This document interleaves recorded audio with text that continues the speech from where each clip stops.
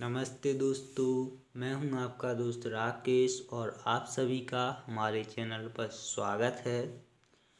आज हम पढ़ेंगे मूसला जड़ और अपस्थानक जड़ में अंतर। जैसे कि प्रश्न है, मूसला जड़ और अपस्थानक जड़ में अंतर लिखो। उत्तर है, मूसला जड़ और अपस्थानक जड़ में निम्नलिखित अंतर हैं। एक साइड लिखेंगे मूसला जड़ और दूसरी साइड लिखेंगे अपस्थानक जड़। पहला अंतर है, ये जड़ें सिर्फ़ मूल मूलांकुर से विकसित होती हैं।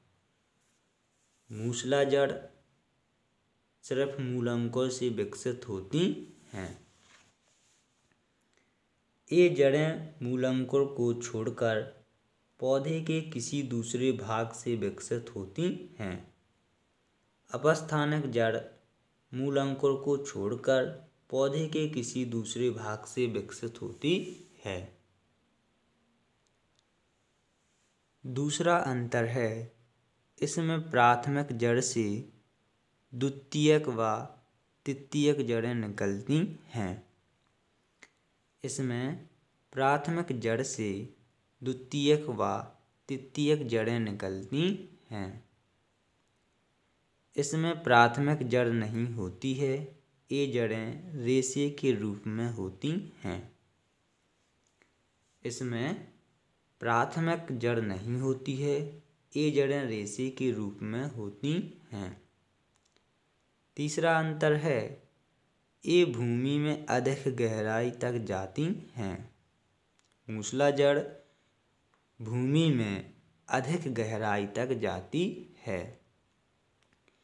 ये भूमि में ऊपरी सतह पर ही स्थित होती है।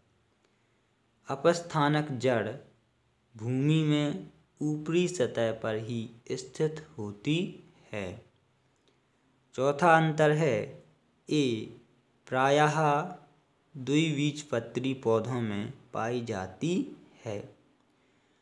मूसला जड़ द्विबीजपत्री पौधों में पाई जाती है। ए प्रायः एक बीजपत्री पौधों में पाई जाती है। अपस्थानक जड़ एक बीजपत्री पौधों में पाई जाती है। तो हे गाइज़ यदि आप लोगों को हमारा वीडियो पसंद आया हो तो हमारे चैनल को लाइक करें कमेंट करें शेयर करें और सब्सक्राइब करें। धन्यवाद।